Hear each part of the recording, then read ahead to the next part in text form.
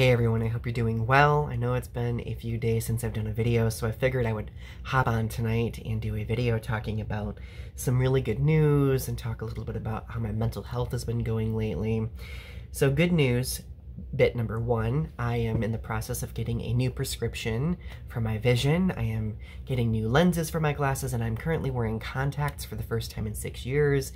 It's been an adjustment, but I'm super excited about it because it means for the first time in six years I get to actually wear sunglasses. So today I went to Rue 21 and bought a couple of pairs of sunglasses. I got this silver pair and I also bought a gold pair. I feel chic. But anyway, good news number two. I was recently invited to be featured for a poetry reading, a live poetry reading. It'll be my first live poetry reading featuring my work from Carbon Footprint on August 12th here in um, the city that I live in. I'm really excited. It's at the it's going to be at the Theodore Roethke Museum, and for those of you who do not know who Theodore Roethke is, he was a very celebrated and honored American poet known for poetry about like themed around like nature and mental health. And I, it just really means a lot to me. It's, it feels like a full circle moment because my work has been compared to Theodore Roethke's. My work has been inspired a lot by Theodore Roethke. So I just, I feel like it's a full circle moment for me. And I will undoubtedly have some recordings from it to show all of you on my Donny Speaks channel. So if you haven't subscribed to my poetry channel, which is Donny Speaks, I would strongly encourage you to do so because there will be, of course, some video from that and um, and yeah, it's gonna be fun. I um also am continuing my progress on getting my book turned into an audiobook too.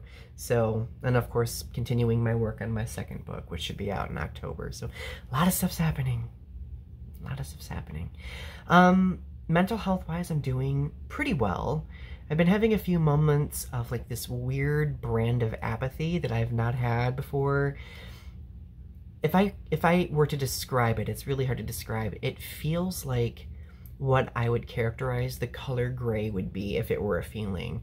Like this just lack of vibrance. Like I don't see this vibrance in the world. Like it seems everything seems to lack contrast or lack saturation. Everything seems to just be very gray scale to me. And it mind you, like obviously it's not literal the physicality of my vision. I can see color, but because of my feelings, I don't know if it could be because of my medication or what, everything just seems dulled to me.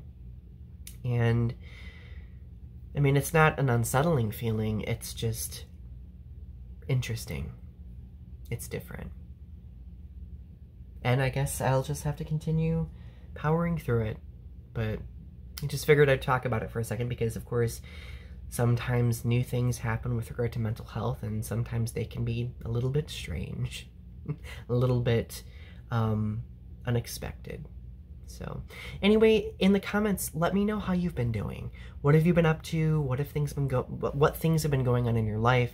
Just let me know. I'd be happy to to see what you've been um, doing. So, I love you all. Thank you for watching, and I hope you have a good rest of your night.